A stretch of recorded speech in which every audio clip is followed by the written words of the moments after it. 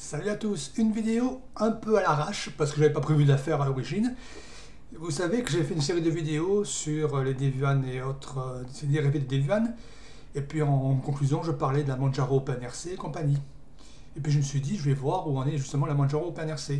Je vais sur le site officiel dont vous trouvez les descriptif. Et qu'est-ce que je vois? Dernière mise à jour il y a 10 heures. Oh, je vais dans les fichiers. Qu'est-ce que je vois? Manjaro 1608. Oh, miam miam miam. Donc, résultat des courses, j'ai téléchargé ISO. J'ai créé une machine virtuelle. Pour corser un peu l'ensemble, j'ai activé l'UEFI. Pourquoi? Parce que 99,9% des euh, ordinateurs qui sont achetables actuellement proposent l'UEFI. Donc autant tester avec l'UEFI. Donc on va voir ce que ça donne on est parti pour l'installation et la post-installation. Si tout se passe bien, la Manjaro 1608 OpenRC avec l'UEFI. On est go. Voilà. Donc là, je vais passer en plein écran, ça sera mieux. Enfin, je vais passer en plein écran une fois le changement terminé. Bon, je me suis dit pourquoi pas, parce que ça fait longtemps que je n'ai plus euh, mis la main dessus. Et puis avec un peu de chance, peut-être qu'il y a des progrès qui sont faits. Peut-être qu'il y a enfin Calamares. Si c'est le cas, ce serait sympa, parce que ça permettrait de, rendre cette euh, version un peu plus abordable, un peu plus... Euh, comment dire ça? Conviviale. Donc c'est l'UFI, c'est un peu à démarrer. que ce soit système de OpenRC, c'est la même merde, c'est loin démarrer. Voilà. Donc, nous avons un OpenRC 21, je crois me souvenir. 0.21.4. Bah, Et là maintenant, je passe en plein écran. Donc on voit que l'ensemble démarre.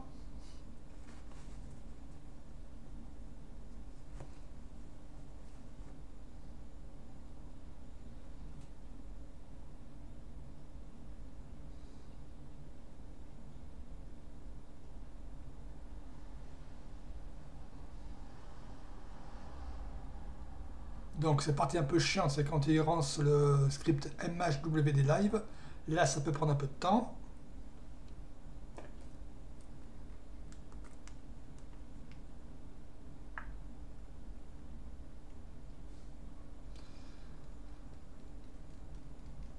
Voilà, c'est bon. Donc il va lancer l'IDM.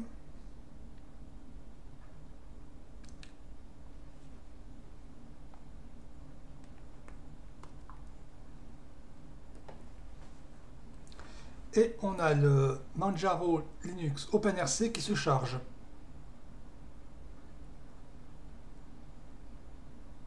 Très bien.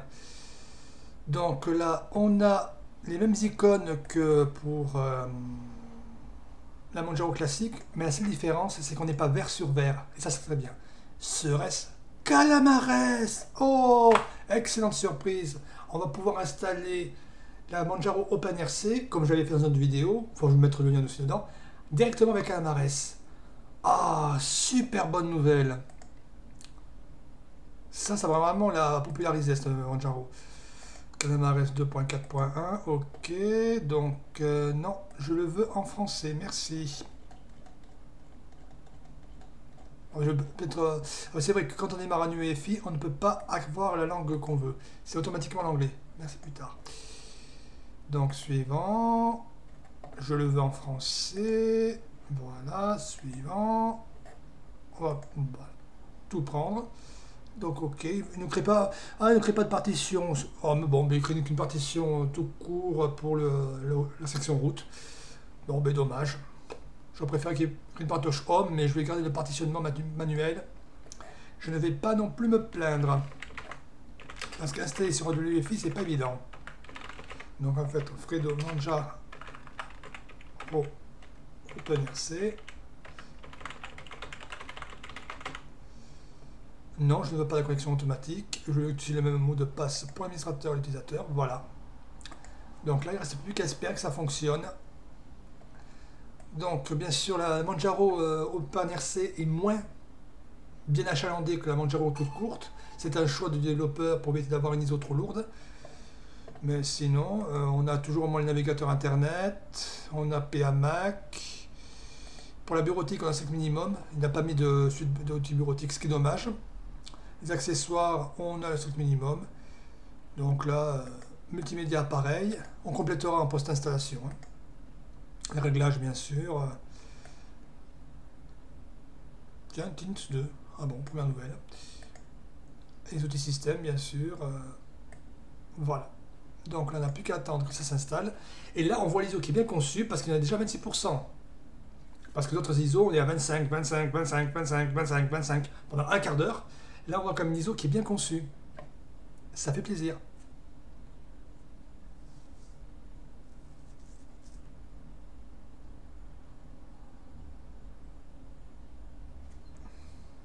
C'est ça qui a se bloqué pendant un quart d'heure 26% et qui peut me permettre de mentir, c'est saleté.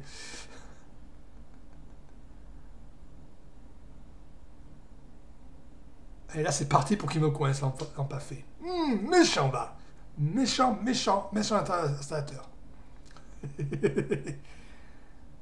non, c'est vrai qu'on peut dire aussi que d'icône est sympa. Ça change un peu des horreurs à la N-U-M-I-X ou à la FANSA. Quoique entre Numix et FANSA, c'est comme choisir entre la peste et le choléra. Lequel est le moins douloureux J'ai pas envie de savoir. Donc on va attendre quelques secondes. Ah, il avance. Allez, gentil, gentil, gentil, gentil, gentil, gentil. Tu vas avancer.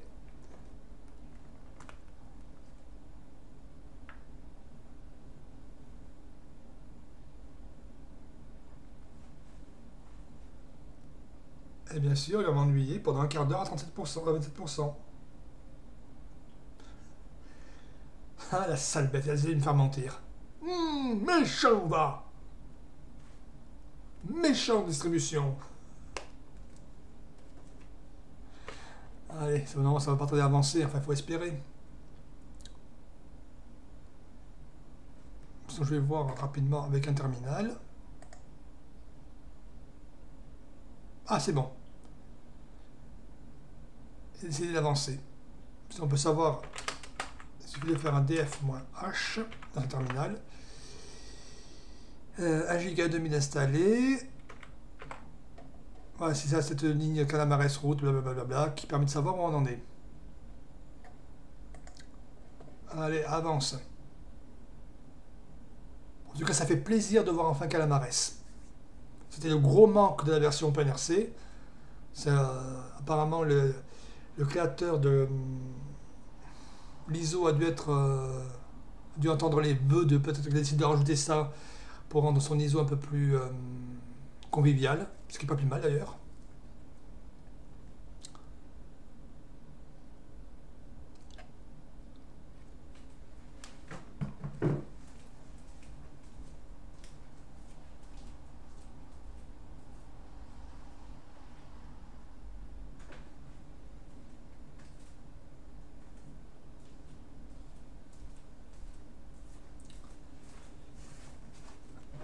Elle est pas très lourde, mais elle un peu longue à installer. Enfin, déjà, on n'a pas attendu une heure déjà pour la toute installation. C'est juste ça de prix. Ah, 28. Donc, il va arriver au 30%, ça va... On va voir de, quelle taille déjà prise. bien sûr, c'est pas très important, c'est pas primordial, mais vous voyez au moins qu'on peut utiliser Calamares. 2 Go 4. Ouais, pas mal.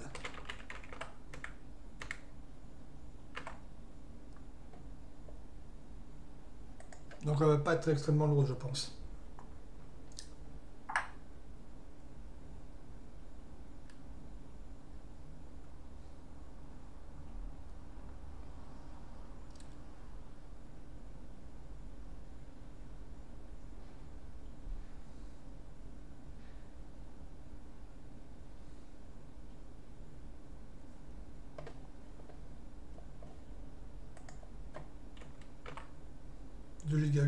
Dommage par contre qu'il soit un peu long à installer.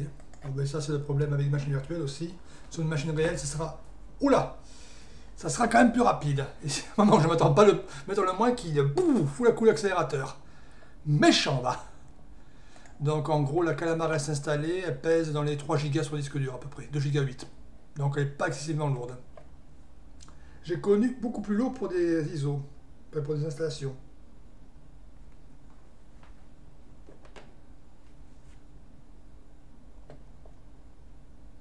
Donc la génération du noyau est un peu longue, ça c'est normal.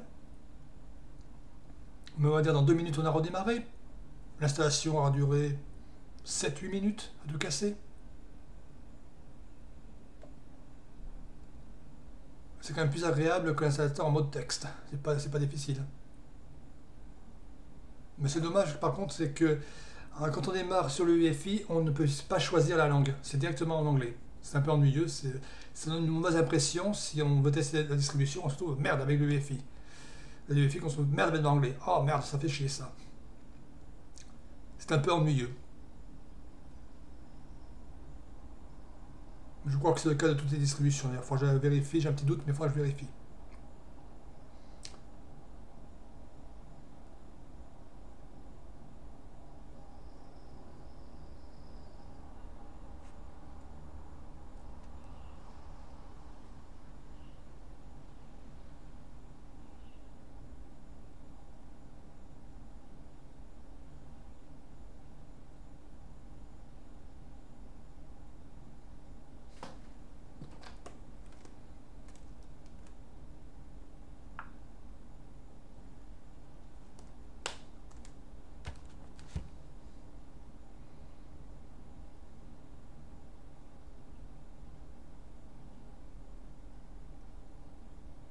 Voilà. Et bien sûr, les 5 derniers pourcents sont toujours les plus longs. Donc on vérifie à peu près la taille que. On va être dans les 3 Go installés. Ouais, dans les 3 Go, 2 Go 9, j'étais pas très loin. Je n'étais vraiment pas très loin. Allez, avance.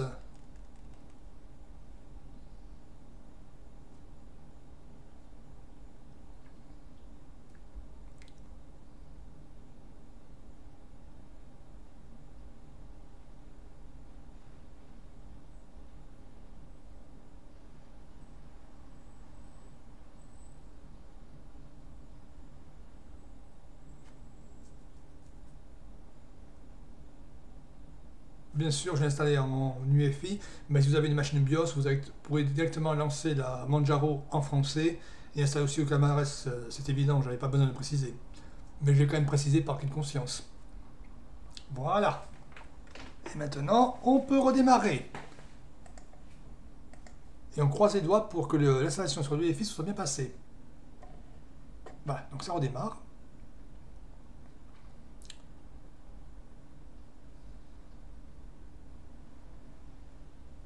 Par contre, il faut peut-être Je vais quand même éjecter par sécurité le, disque, parce qu'il a tendance à. a tendance à parfois vouloir booter directement sur le CD-ROM. Donc là, nous avons la Manjaro qui démarre depuis le disque dur virtuel.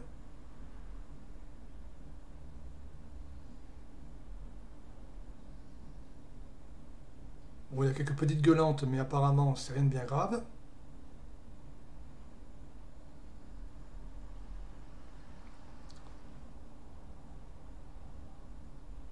Ça s'en ira en post-configuration.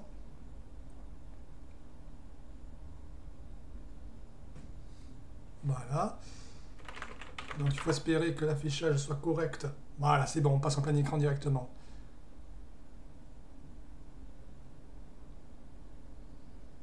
Voilà, voilà, voilà. Donc nous avons notre Manjaro installé. Bon, il n'y a pas de menu d'accueil.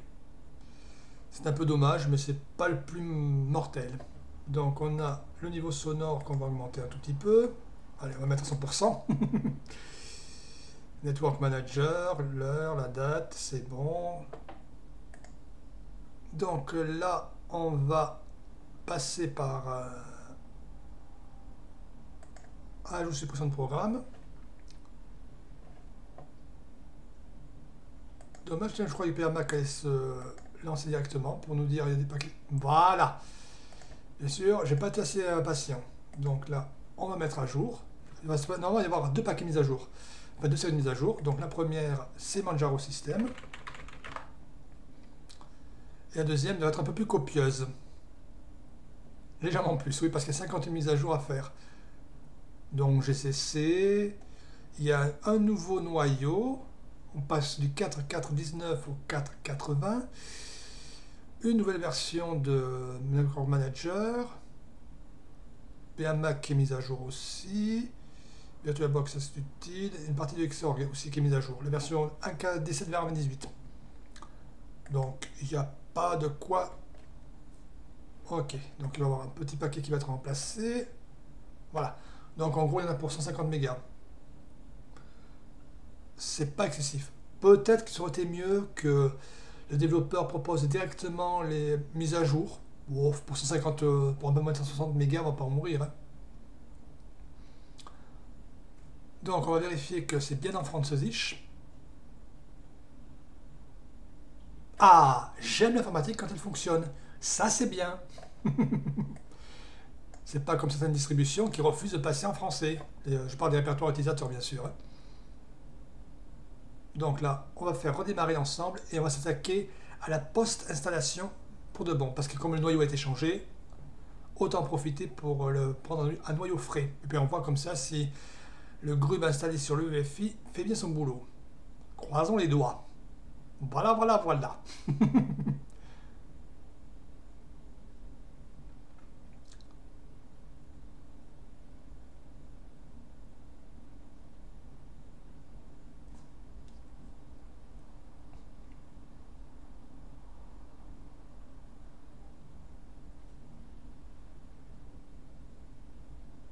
une cinquantaine de mises à jour, euh, j'ai connu largement pire.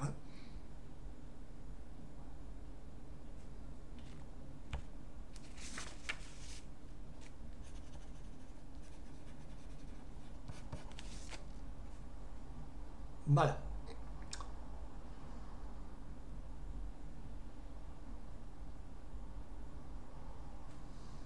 Si on va dans les détails, là, voilà, c'est la génération des, euh,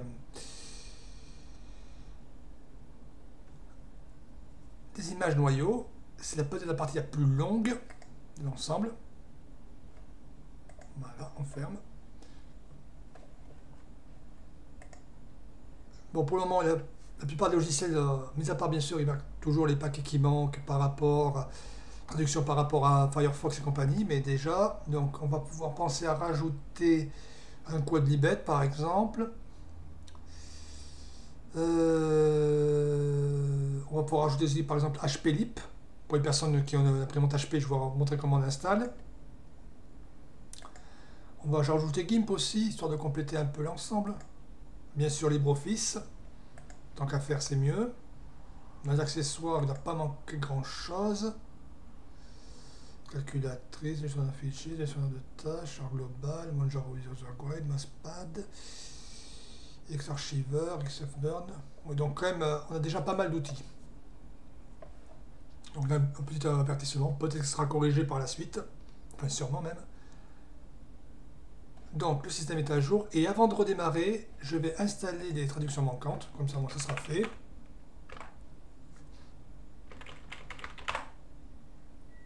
Avec l'outil Manjaro Setting Managers. Voilà, donc les paquets linguistiques qui manquent. Donc il y a bien sûr Firefox euh, en français. Comme ça, on n'a pas besoin de se prendre la tête.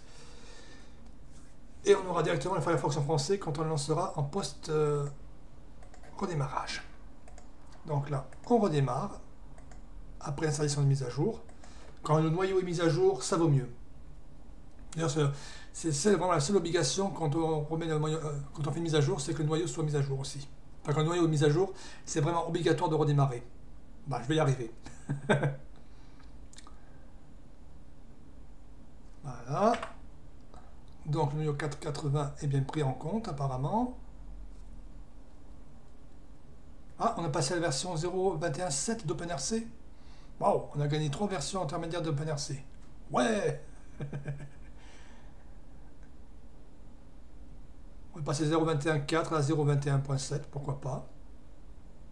En tout cas, c'est fonctionnel pour le moment. Je ne vais pas m'en plaindre. Donc là,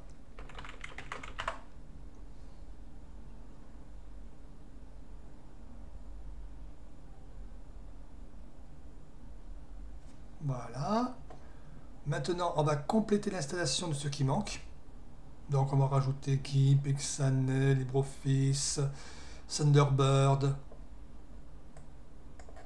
Donc on va commencer par LibreOffice. Fresh. Et comme on a la langue un peu plus loin, comme ça ça évitera de l'oublier. On va rajouter GIMP.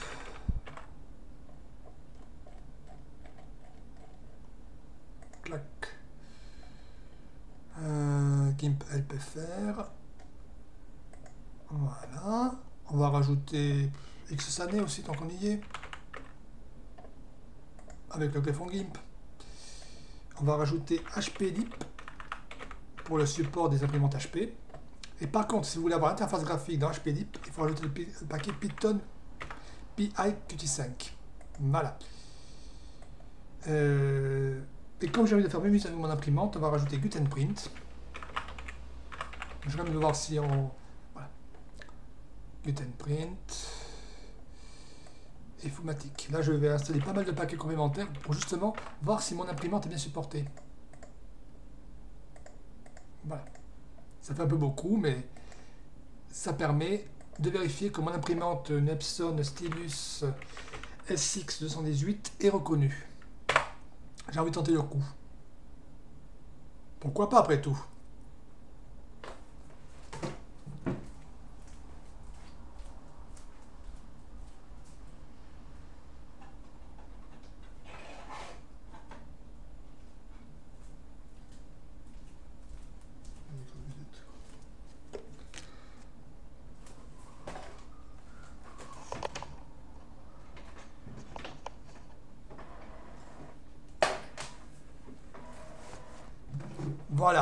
L'imprimante.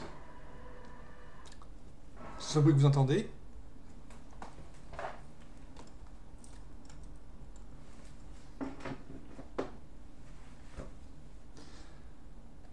Bon, moi, je vais pas rajouter Thunderbird, mais vous connaissez le principe, c'est Thunderbird, Thunderbird FR. Comme ça, moi, déjà, ça permet d'avoir... Euh, c'est vrai que la Manjaro OpenRC a quelques petits manques, mais c'est vite compensé.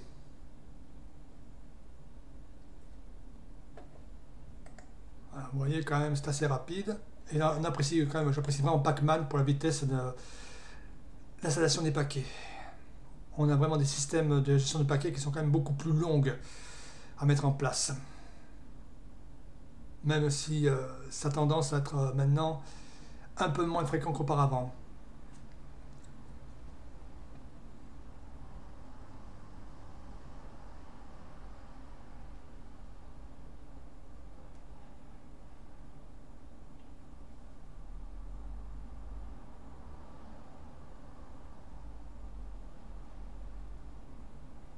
Pas si l'imprimante va être reconnue par l'USB. On peut toujours espérer. au moins, ce sera un test en live. Si ça ne fonctionne pas, c'est pas bien grave. Mais au moins, vous aurez vu comment on fait pour installer des compléments, euh, pour avoir une installation d'une imprimante. Parce que quand même, une imprimante, c'est quand même un, équipement qui est assez fréquent de nos jours. Ah, et tant que j'y pense, on va rajouter Quadlibet pour l'audio. Voilà.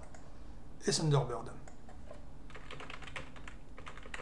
Pour avoir le courrier électronique. Bien sûr, on pourra, on passer par Chromium et par autre chose, mais autant rester dans les logiciels libres classiques.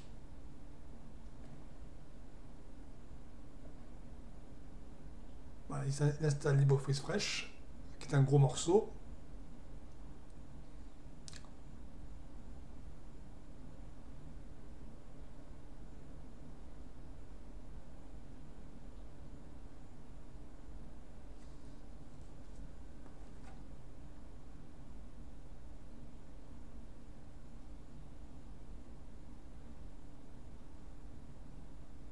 Voilà, donc là, maintenant on va appliquer les derniers paquets restants, valider. Donc, hop ça. Je vais voir pour l'imprimante est reconnue et pour voir si je peux arriver à scanner une de mes cartes de visite. Ça sera un essai. Donc là, je repasse en plein écran. Donc périphérique USB, Epson Stylus. Voilà. Ah, et j'ai oublié de rajouter un outil qui permet de simplifier la tâche. C'est System Config Printer. Voilà, ça permet comme ça.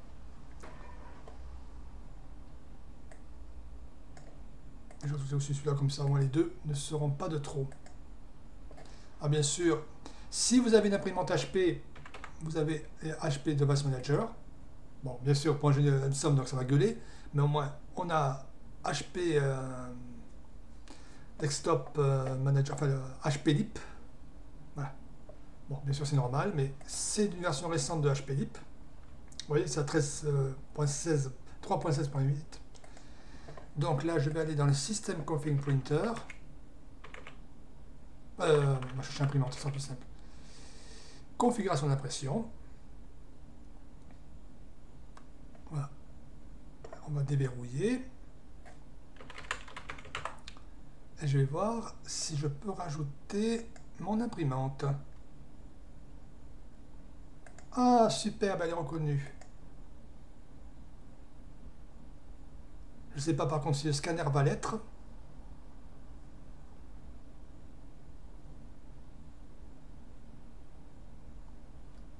Bon, on recherche les pilotes pendant ce temps-là. Au moins, déjà l'imprimante est reconnue.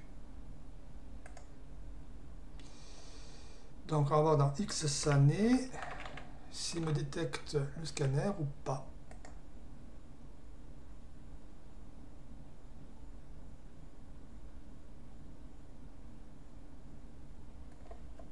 Je pense qu'il ne va rien détecter malheureusement. Ah, si, apparemment. Bon, toi je ne veux pas. Quitte. Euh, voyons. Préférence. Alors, je vais faire parmi X années, je vais recommencer parce que j'ai un petit doute. Ah, mais bon sang. Bon, il y a l'imprimante qui déconne un brin, mais c'est pas bien grave. Au moins, elle est reconnue. L'installation se passe pas super bien, mais tant pis. Alors, X année, voilà. Donc je vais voir cette fois-ci s'il me reconnaît le bon périphérique.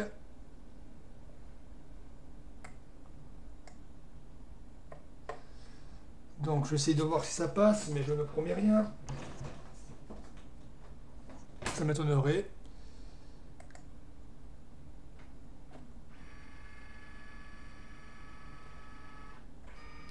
Non, je préfère couleur, merci.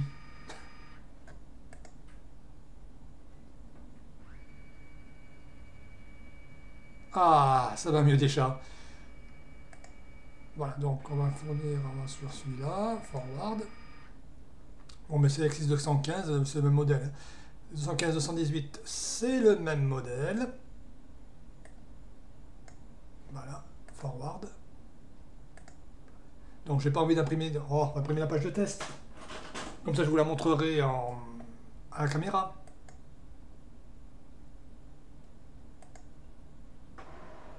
Vous entendez que ça passe. Donc là, je vais relire ça. Donc je vais essayer de scanner ma carte de visite. Voilà. On va mettre euh, en et on va numériser. C'est beau l'imprimante Et voilà, vous avez ma carte de visite. Là, j'avoue que je suis agréablement surpris. Je ne pensais pas qu'avec VirtualBox, j'arriverais à le faire. Bon, on va fermer ça. Abandonner l'image, c'est pas bien grave. Je ne sais pas si ça va imprimer, parce que mon imprimante est un peu capricieuse par moment. Donc vous voyez déjà, c'est pas si mal que ça. Donc on va voir pour le navigateur web si on a bien Firefox en français.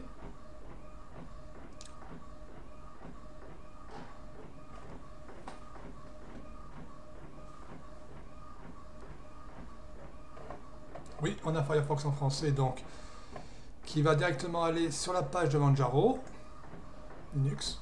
Bon, bien sûr, j'aurais pu rajouter uBlock Origin. Bon, ben, je vais le faire. Soyons euh, respectueux de nos yeux. Et notre système nerveux.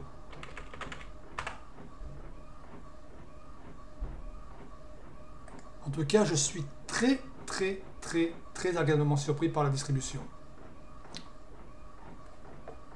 Donc, on va voir ce que donne LibreOffice. Enfin, c'est une Manjaro aussi, donc normalement, ça devrait rouler.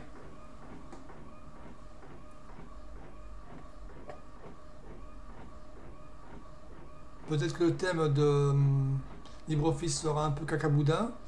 il faudra peut-être changer le thème. Mais sinon, vous avez un LibreOffice fonctionnel. Là, on voit comme la puissance de Manjaro et d'Arch Linux derrière. Hein. Bon, ça se voit que mon imprimante est un peu fatiguée. Hein. Je vous montrerai ça quand même à la caméra après. Donc déjà, on peut faire fonctionner l'imprimante, on peut faire fonctionner un scanner. Vous avez une imprimante scanner HP, c'est la même chose. Ouais, mais mon imprimante est un peu fatiguée. Hein. bon, allez. Ça c'est bon. Donc je vais quand même vous montrer à la caméra. Voilà. Mon imprimante est un peu fatiguée. Donc je vais essayer de vous montrer si c'est visible. Je ne sais pas si ça le sera. Voilà, c'est là. Non, non, ça voilà, ça va pas être super lisible. Je suis désolé, mais c'est l'impression qui est toute fraîche. Vous voyez quand même mon imprimante est un peu fatiguée. Il va vraiment falloir que j'en change. Elle a 6 ans ou 7 ans. Donc elle commence à être un peu fatiguée là pour bête. Donc la numérisation, ça passe. On va vérifier le dernier truc. On va voir avec Steam. Même si je ne suis pas un grand joueur. Je n'ai pas testé Steam, donc là, c'est la surprise du chef. Parce que le seul gros manque maintenant, c'est Steam. Donc, est-ce que Steam passe? Donc, je vais installer Steam. Voilà. Il va appliquer, euh, ajouter les dépendances qu'il faut tout seul. Alors, pourquoi de Libet? Voilà, donc il y a Quadlibet et Expasso. Je suppose aussi que côté euh, greffon, c'est très bon. Bon, mais ça peut savoir si tous les greffons. Euh, setup, on va choisir musique. Euh, répertoire musique, oui.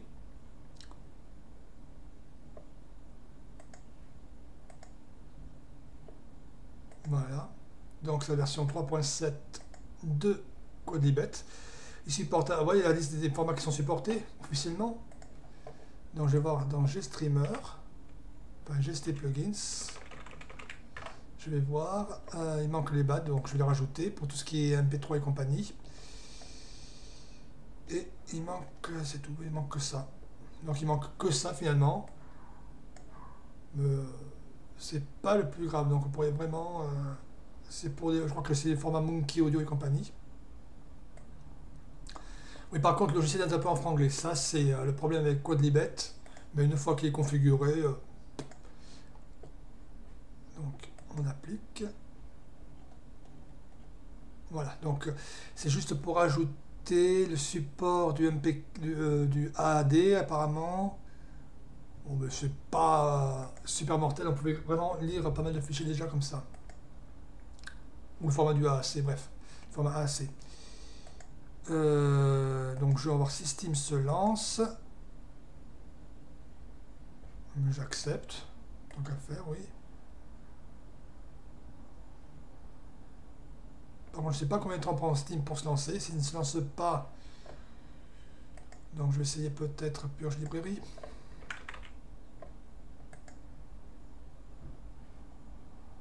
Yes, on va mettre ça. Peut-être aussi qu'il ne va pas se lancer dans une machine virtuelle. Hein. Voilà, ben, c'est un problème là. Donc là, apparemment Steam récupère les mises à jour. Donc je suppose euh, que on doit pouvoir lancer euh, Steam avec euh, le Manjaro OpenRC. Donc si on recherche les mises à jour, c'est déjà un bon point.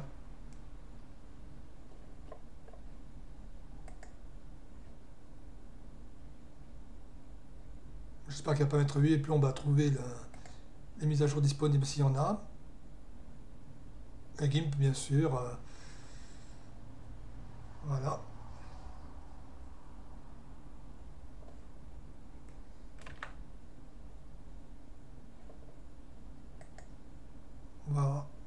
annuler les mises à jour de Steam, tant pis. Hein. Je sais c'est pas bien, mais j'espère qu'il va bien vouloir me lancer euh, Steam. Bon, il y a toujours GIMP qui se lance. C'est déjà un bon point. Je n'aurais pas dû euh, annuler la recherche de mise à jour de Steam. On va essayer de lancer une nouvelle fois.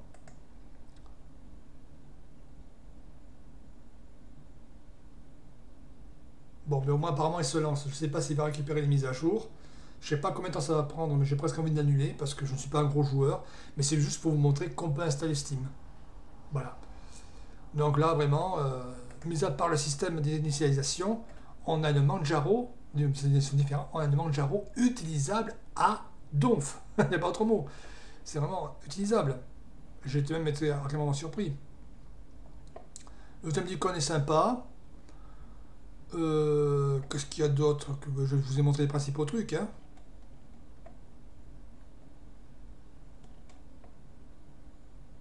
Pas grand chose à rajouter. Hein. Bien sûr, on peut remplacer parole par euh, VLC, mais... Euh, voilà quoi. Euh, bon, je vais arrêter, c'est pas la peine de laisser tourner comme ça en, rond. Je vais arrêter la vidéo. Voilà, voilà, voilà. C'est assez rapide d'ailleurs.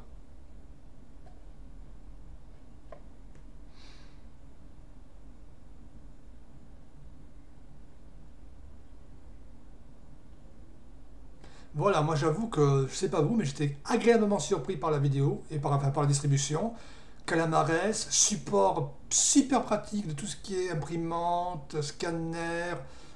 Mais j'avoue que même dans VirtualBox, je ne pensais pas avoir un tel support. La seule différence, c'est que ça utilise euh, OpenRC au lieu du système D et qu'il faut faire l'installation à la main pour les derniers trucs comme LibreOffice et compagnie. Mais ça fonctionne très bien. Sur ce, je vous laisse. Je vous dis salut à tous et à la prochaine. Bye bye